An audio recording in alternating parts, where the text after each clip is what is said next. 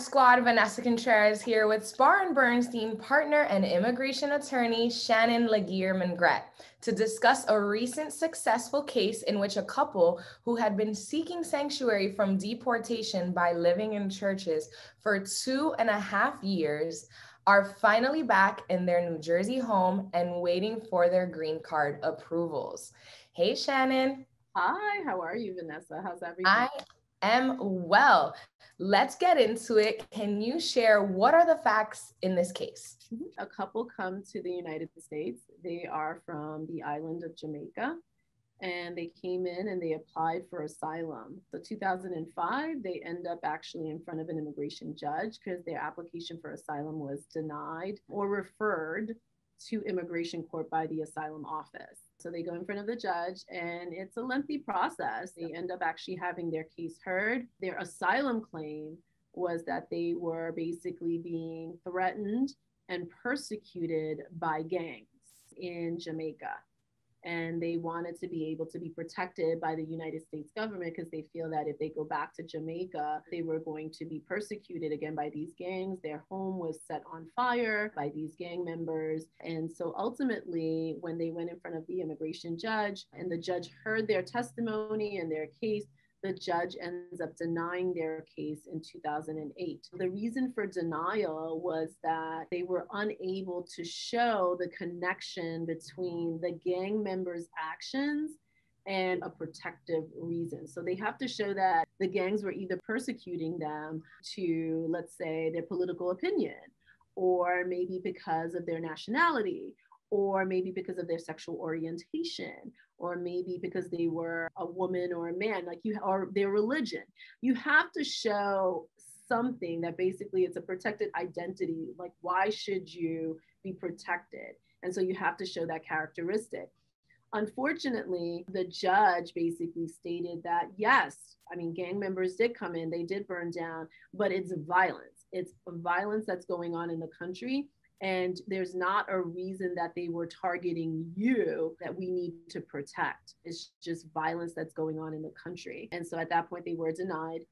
This went all the way up to the federal court, the Third Circuit. So once they were denied, they actually appealed their case in a timely manner to the Board of Immigration Appeals. And then afterwards, the Board of Immigration Appeals agreed with the immigration judge, what took it to the federal court, but that was also rejected. And then, then at that point, basically, they did a motion to reopen with the board, and that was denied. So at that point, they end up having an order of removal.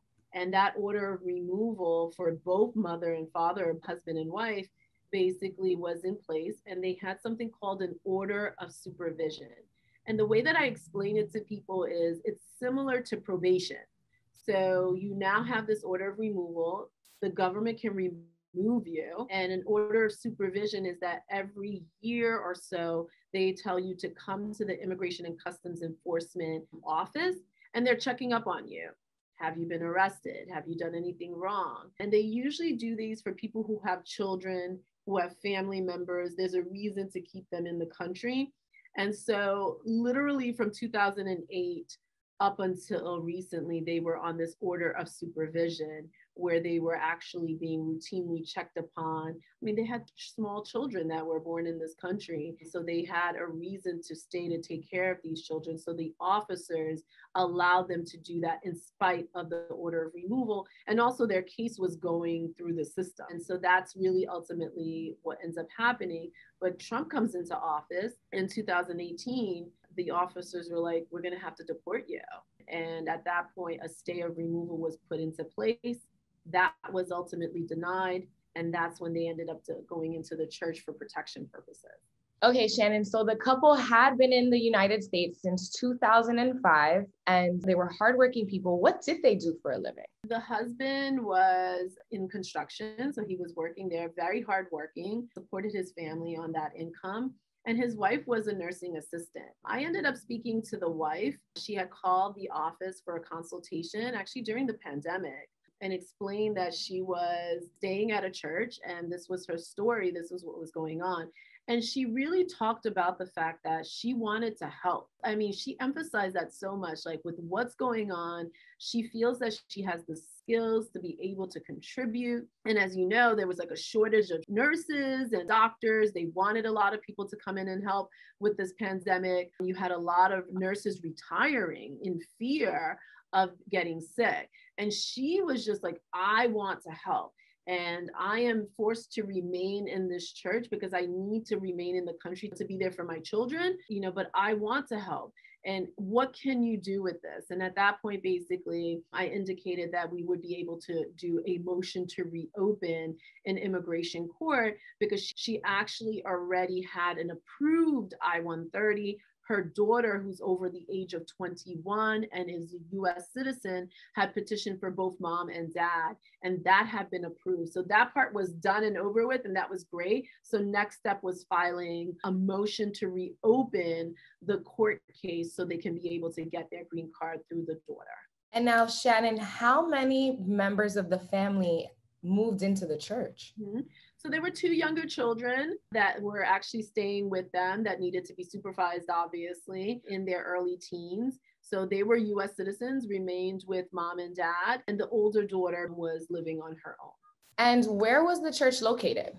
The church was located in Philadelphia, Pennsylvania. We certainly, immigration, there's basically these laws that are in place that there's guidance also that immigration and customs enforcement should not be going to certain places that are considered safe or sanctuaries, churches, schools, that they won't go into these areas in order to get people. So, houses of worship, they're trying not to go into these places in order to apprehend people especially for removal orders. And so that's where they were at that particular time.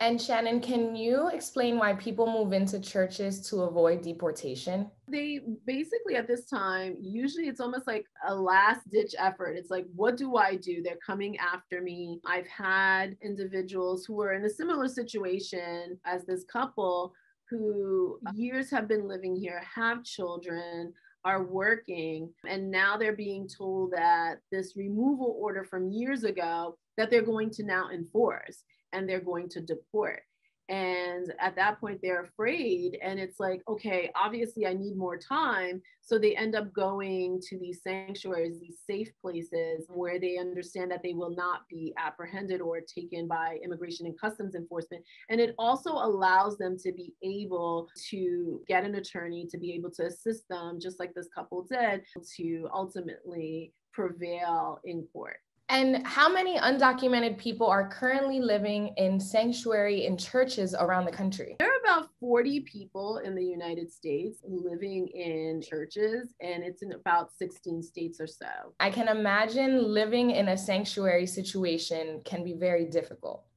Absolutely. Certainly difficult in normal times, right? Because you're now away from the comforts of your home, being able to be familiar with what's going on in your home, but you're now living in a sanctuary, a church setting. Basically, you have different rules now that are being applied to you. So, very difficult. You understand that it's a blessing, I guess, because at the end of the day, you're being protected and you won't be deported, but also very difficult because now you have moved either yourself or your entire family to this church, this house of worship, where you need to live until further notice. But became even more difficult because of the fact of the pandemic and it was whereas before people were able to come in there was like a steady flow of visitors coming in to talk to you to stay with you and ask you questions and support you and provide you food. And now with the pandemic that didn't happen all of that ceased. And now you're like really lonely to be quite frank with you. And i know that depression was a major issue certainly during the height of the pandemic when everyone was quarantined and there was like the stay at home shelter in place enforcement. But can you imagine for them now they're in a church they can't see anyone it's just the four of them. It just became very very difficult it just became a very very difficult situation for all involved now, Shannon, did you have concerns that the couple seeking sanctuary in a church would affect their case? There are certain people who do it, and the government attorneys sometimes are very angry about that. But in this case, because of the couple, like I said earlier, when I was speaking to the wife, the genuine concern about helping people and wanting like she you could tell like this was genuine she wanted to make a difference you saw a difference in who wanted to help her and you could see that because two and a half years living at a church obviously these have to be special people the entire community got together to really assist her. From US senators, such as US Senator Cory Booker, who had ran for president, US Senator Mendez, you had these individuals, powerful people reaching out. And it's very important to keep in mind normally they do not want to get involved in these kind of litigation cases, but they did because this is the kind of couple. People who come into this country they didn't do anything wrong. They haven't been arrested. They have a family here. They're working hard. They're making a difference. They have skills to contribute to the community. This is what society really is looking for to a certain extent. And as a result you had all these individuals really supporting reaching out to immigration and customs enforcement saying hey why don't you do whatever it takes in order to allow them to be able to get a green card? And ultimately, the beauty of this is that the Philadelphia people in charge were like, we want to work this out. we want to make a difference in this couple's life, in this family's life. What can we do? And what I had suggested, which was the motion to reopen, was get this filed as soon as possible because we want this to work out. So, what specific documentation was in the motion? Mm-hmm. So basically, what was in the motion were documentation to show family relationships, which were the birth certificates of the children, you know, ultimately to show that they were, number one, their children and also US citizens. So we submitted those documentation. We also submitted their work information that they've been working, that they basically had jobs and that they were contributing to society, that they filed taxes. We submitted those documents. We also submitted documentation like affidavits as we talked about, from all these individuals, politicians, heads of nonprofit organizations that became very involved, immigrant advocacy groups that were indicating that this is not what you want to do. This couple has contributed to the community. So, really powerful testimony from these individuals about what they've done in order to make their community better. This is a family that loves their children and want their children to continue to succeed? And do you really want to deport these parents from these children and will forever impact these kids' lives? And sometimes people don't understand that. A lot of times, children, people are like, well, they're US citizens, but this impacts them tremendously when they know that they are going to possibly be separated from someone that they've known all their life, their mom or their dad, and they don't understand the concept of, well, they don't have papers. For them, that it just doesn't make sense. And so affidavits from them, you know, to submit about what their parents have done, the kind of influence they've had in their lives. All of this was submitted to immigration. And again, this had been in the papers, this had been in news outlets. So we submitted those documents also. And ultimately, the government attorney was on board and was reaching out to us with detailed emails about, okay, I got this okay, so now here is the next steps. We were working together, the government attorney in our office, to make this basically go right. And that's the beauty of this. That's the greatness of how it should work. It shouldn't always be just opposing counsel. It's about what's in the best interest of not only the country, but for everyone involved. And it's not about prosecuting these individuals, it's about looking at the details, looking at the facts of this case. Is it really worth it? And it was wonderful to have a government attorney who realized that why should we waste resources on this kind of family? We should be looking to see ultimately they can get a green card. Let's see how we can reopen this case. So in this joint motion to reopen, you know, we requested government use your prosecutorial discretion, basically join in with us to ask the court reopen this case which is the Board of Immigration Appeals in this particular circumstance. We both signed off on the motion to reopen and submitted it to the Board of Immigration Appeals, who ultimately reopened the case and remanded it or sent it back to the immigration court.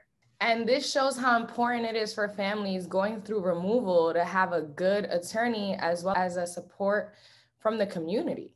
It is. I mean, a lot of time when I do the motion to reopen, I tell our clients the importance of what you're doing, how you're contributing to society. You know, many people, of course, immigrants come to this country a lot of times they want to work, you know, so they're working, but there's other things that they may do. Like they might be involved in their church, they might be involved in, like, sometimes they coach a soccer team, or they're just actually playing on the soccer team, or maybe they guide their child on a sports team. And all of this we put into the motion to reopen because it shows really this person, who this person is. And that's really a lot of times what the judge or the government attorney wants to see. Does this person merit or deserve this opportunity? And what have they done to demonstrate that they deserve it? And that's really what the motion to reopen is about. And so when you have the support of the community, when you have your neighbors and powerful politicians, state politicians, you know, really sitting there saying, we are going to advocate for you, it means a lot. And what is one of the first things the couple did once they were able to leave the church and go back home? So basically, they had a routine in the past where they would go to a restaurant and people watch. and so that's what they ended up doing. They went back to their routine where they would, like, you know, just grab something and sit outside and really people watch. Something that probably people would take for granted. It was a great moment to hear that. Wow, Shannon, congratulations to your clients and to you and Spar and Bernstein for keeping this family together in America. If you or your loved one are in deportation or are in need of immigration legal services, call Spar and Bernstein at 1 800 529 5465 Again, that's 1 800 529 5465.